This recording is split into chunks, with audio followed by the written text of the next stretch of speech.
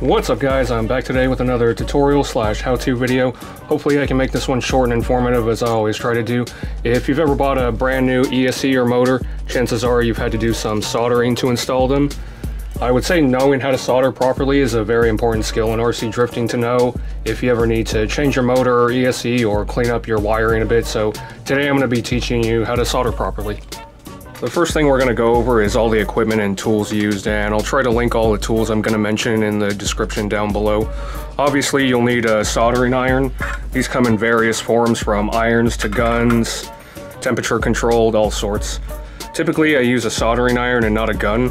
They're a little more compact and easier to work around smaller RC electronics. Here at the shop, we use this two-in-one soldering station we got off Amazon. This includes an adjustable temperature iron on the right side, adjustable in Celsius and Fahrenheit, and comes with a few different tips for the iron. I typically like to use the conical tips or the bevel tips. The bevel tip with the flat section has a bigger surface area, which means more and faster heat transfer and faster solder melting. I would suggest you try to find an iron with adjustable temperature control. There are plenty of small standalone soldering irons featuring adjustable temperature and you don't need to buy one of these huge stations for this. If you aren't going to use something adjustable, make sure it's soldering in the 800 to 850 degrees Fahrenheit or 420 to 450 degrees Celsius range. On the left, we have this, which is actually used for soldering things onto circuit boards, but we make use of it as a heat gun for heat shrinking wires and connectors, so we use it pretty often, even though we aren't really doing any circuit board work in the RC drift world. Also included is a stand for your soldering iron. You don't want your hot iron rolling away and burning your table or something else. And on the stand is this tip cleaner that consists of some brass wool and some flux at the bottom of the cup. On the subject of flux, we also have this bottle of flux sold separately. Flux when applied to wires or connections will help remove oxide films once heated which prevents a good solder joint and helps the solder to flow better. Electrical flux is known as rosin flux which is what we have here. For plumbing they use an acid flux which you don't want since the acid can corrode your solder joints. Most electrical solder will have a flux in the center of them that prevents you from needing any other flux but it doesn't hurt to have some on standby. Flux can come in a liquid like we have here or a paste, both work the same. I just mentioned soldering for electrical connections and for plumbing. You definitely want to use an electrical solder. Typically a 60-40 tin lead solder is what you'll find for electrical soldering. Yes, there is lead in it and yes, it is safe, but be sure to wash your hands after handling it for a solder job. The lead helps the solder melt at a much lower temp than lead-free solders that you'll usually find on factory soldered ESCs and motors, which require really high temps to melt. Big companies have to use that stuff so that it's non-toxic for e-waste, but it's okay for us to use leaded solder for the sake of ease of soldering. For the size of wires we're using for RC cars, I like to use this 0.8 millimeter thick solder. This lets me flow solder quickly without having to feed a long strand of solder like you would with a thinner solder. You also might need something to strip wires. We have these automatic strippers. Just insert your wire in however far you want the jacket stripped back and rip the handle. These even have a wire cutter built into the handle here. You could also use one of the manual strippers, those work fine, and even a hobby knife if you're careful not to cut too many of the wire strands. Just roll the blade along the jacket.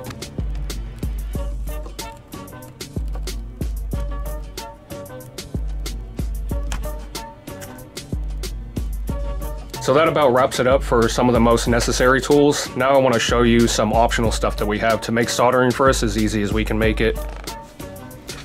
A pair of tweezers is included with the solder station. You could also use some pliers. These are useful for holding wires as you solder. I've burned my fingers enough times holding hot wires as I solder them to not use these as often as I can. Also included was a desoldering pump. These are useful when desoldering something that you're going to resolder so that you can clean up the connection of any excess solder before you resolder. I'll show you how to use this later.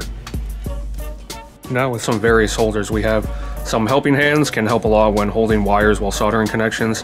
Some helping hands will even come with an attached magnifying glass for smaller connections you might need to work on. These ones included a metal bottom plate and all the arms are magnetic which is cool so sometimes I'll stick them onto this vise so I can hold a wire and everything is out of the way. I can even take these alligator clips out of the arm to use to hold wires or bullets. The benchtop vise I mainly use to hold ESCs while I solder them.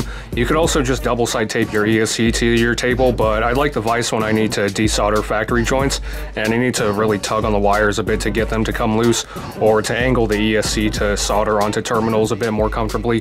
They have some smaller hobby vices that can also work.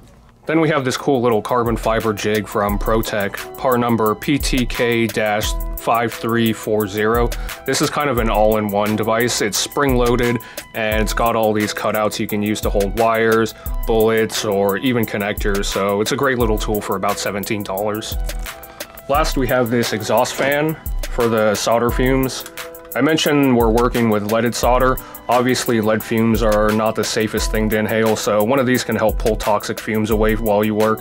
This one features a carbon filter on the front to filter some of the fumes and even though it's not super fancy and doesn't duct out anywhere, it can still help to pull fumes away from directly where you're breathing. Honestly, I don't use this thing much. If anything, I just turn it around to blow the smoke away from my face while I'm working, so I'll probably die of lead poisoning one day, I don't know.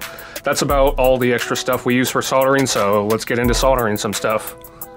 I'm going to try to cover a few different things here all at once, but the method is pretty much the same. We have a wire, we have some sort of terminal or bullet, and we want to solder the wire onto the terminal. First, take a look at what you're soldering the wire to. Figure out how much wire you need to strip back. You don't want too much bare wire sticking past the connection, but you want the whole connection to have wire on it too.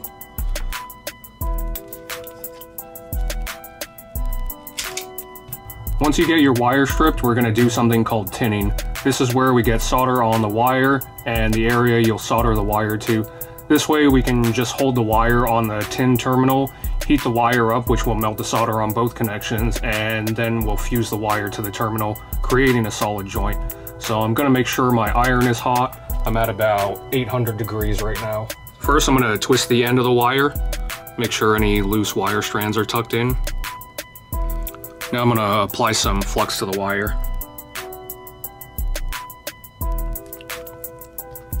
I'm gonna pre-tin the tip of the iron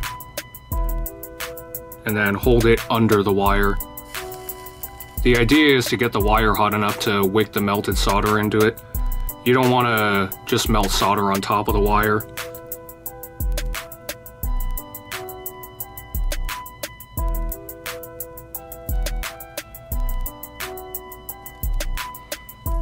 Get a bit of excess solder on one side of the wire, and then I'll take the wire and heat the solder and spin the wire around so everything is tinned evenly.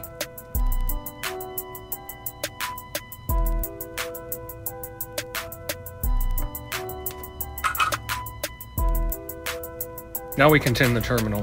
If you're soldering a connector like a Dean's or XT60 or any other connector, don't forget to put some heat shrink on the wire before you start soldering, and it's good practice to stick the male and female parts together while you solder.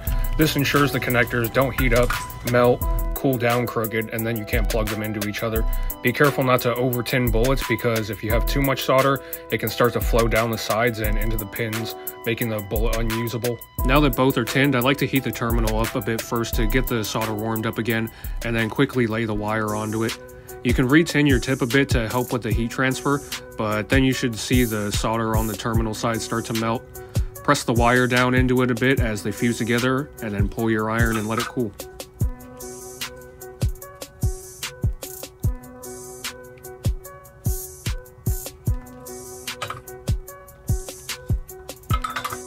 The longer you have to hold heat on the wire and the more solder you try to feed into the wire, the more the solder is going to start wicking down the wire and you'll get these hard spots in the wire.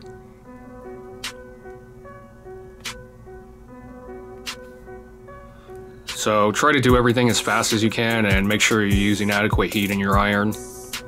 While doing ESC and motor terminals, if you're right-handed like me, it may be best to start with the terminal on the left side and work your way right.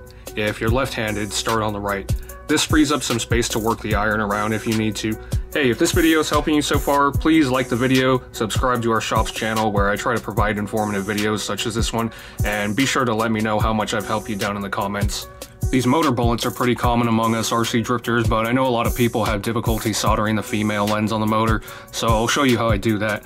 Again, we're tinning both the bullet and the motor. My motor is already tinned, so I'm just going to tin the bullet here. I usually tin on one of the flat parts.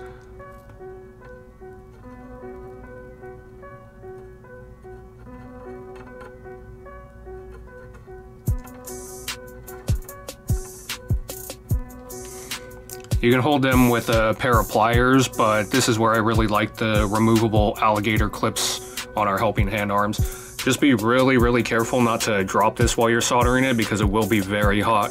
You can see all these marks on our pit mat here where I was soldering bullets and dropped them on it and melted the mat. With both tinned, I'm gonna start on the left side again and I'm gonna preheat the terminal again and then I'm going to hold the iron on the side of the bullet with a tin tip. You should see the solder on the motor melt. Hold the bullet down on the terminal and pull the iron away.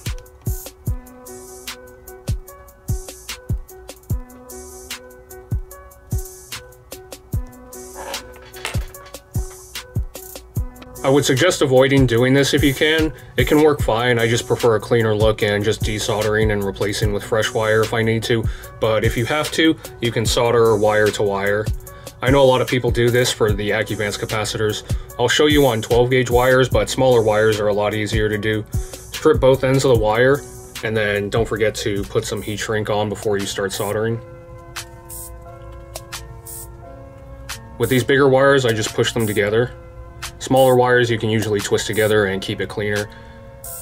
You can see all these frayed ends, so I'll just try to twist them together to get it clean.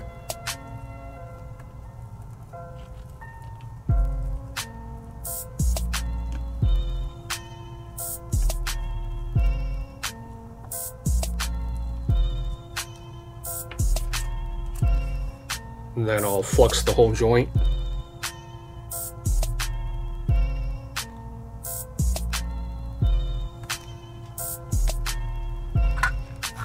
Tin my tip and hold it under and then wait for everything to get hot enough to be able to start feeding solder into it.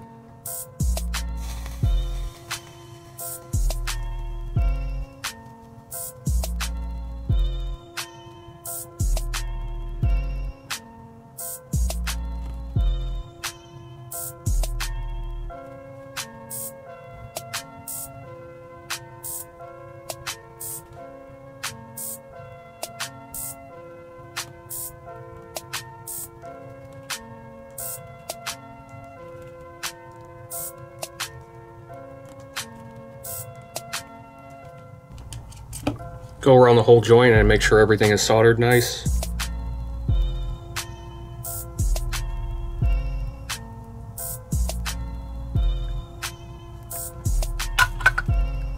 After soldering, slip your heat shrink down and shrink it.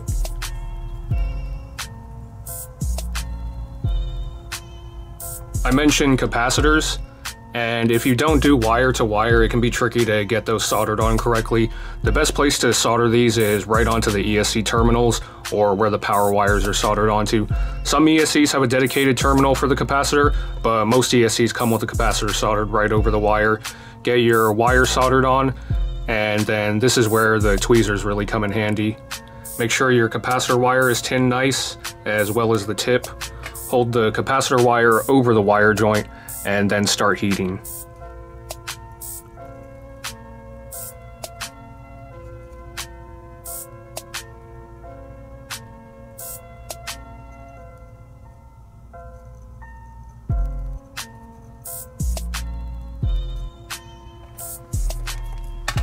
Ideally, you'll want to watch the wire solder and wait for that to start melting as well so you can pretty much touch the capacitor wire to the power wire. Solder doesn't conduct electricity that well so you want all your joints to have actual contact with each other. The solder sort of just acts like a glue to hold things in place.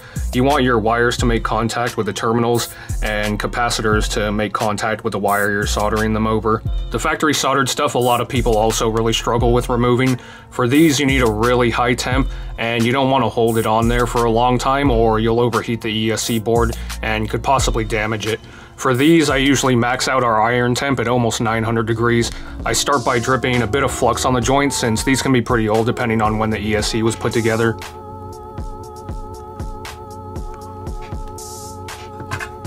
Tin the tip with a good amount of solder and start heating.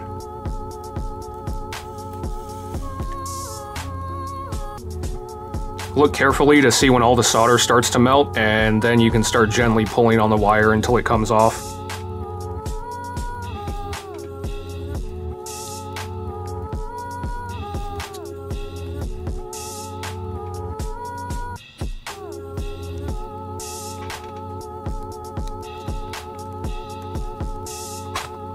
While doing these wires, periodically feel the ESC for heat. If you feel like it's getting too hot, let it cool down. I usually throw the fan on it and I'll solder another part while it's cooling. When you go to resolder it with leaded solder, it's best to try to remove all the old lead-free solder. You don't want those two solders to mix or it can do funny stuff like cause corrosion that leads to cold solder joints or takes longer to melt. I'm gonna grab my desolder pump. We'll charge the pump and then we'll heat the terminal up.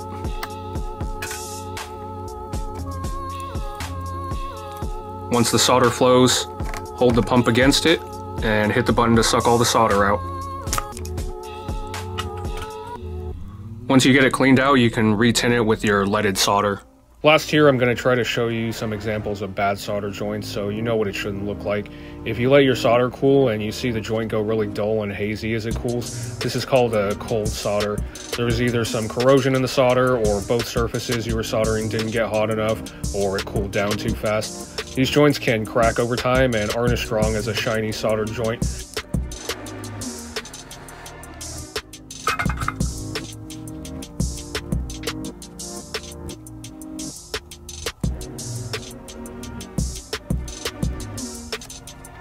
This joint doesn't have quite enough solder on it. It should be strong enough to hold, but you can see some of the wire through the solder, so you can add a bit more to clean it up. This joint obviously has way too much solder on it, so I would suggest completely removing everything, using your desolder pump and starting over. Once you finish up with soldering and you're ready to turn your iron off, go ahead and wipe any excess off on your wet sponge or brass. Shut your iron off, and then I flood the tip with solder until it drips off.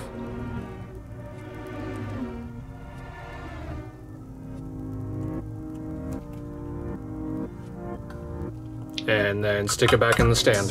What this does is it surrounds the tip in solder and keeps your tip from oxidizing, keeping it in good condition for your next solder job. If the tip ever corrodes and won't wick solder anymore, they do have some retinning kits out there, but don't try to sand your tip to revive it because these tips usually come plated in nickel and you'll sand all the coating off and the tip is pretty much garbage after that. Just buy a new tip. They're usually pretty cheap. Once again, I hope this helped you. I've seen a lot of really bad solder jobs in my time, so I figured I could spread some knowledge and help people learn a new skill that is definitely prevalent in the RC hobby. Again, if you found this video helpful, be sure to hit that like button and subscribe to the channel for more videos like this. Later.